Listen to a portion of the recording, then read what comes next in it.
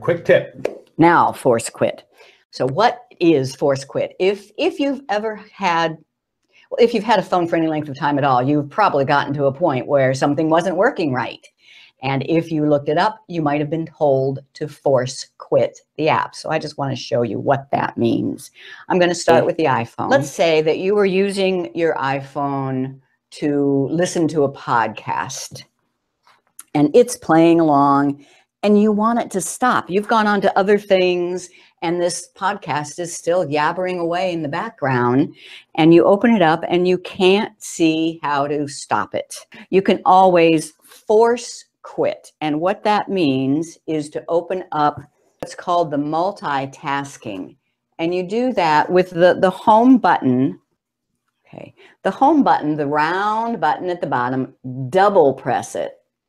And that shows you all of the apps that are have been recently opened. And you can then find the one that you want to quit and you might have to look a little bit. There it is the podcast and you swipe it off. There we go so that's what force quit means so now if you went back to the podcast app you would be able to start it over again. Yeah, now when you open it up, it it starts it fresh and hopefully what wasn't working will work now. That is called force quit. All right, now on the Android, let's say that I was playing solitaire. I'm playing solitaire and maybe I have to answer a call and I try going back to solitaire and now nothing works. I try tapping on it and nothing works. You can force quit it.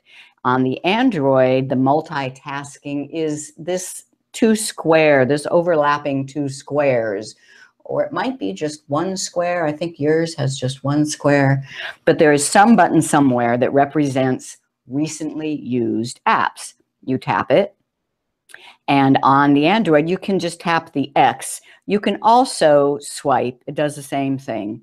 When you tap the X, it force quits. And then if you go back to solitaire, it's it's a fresh start.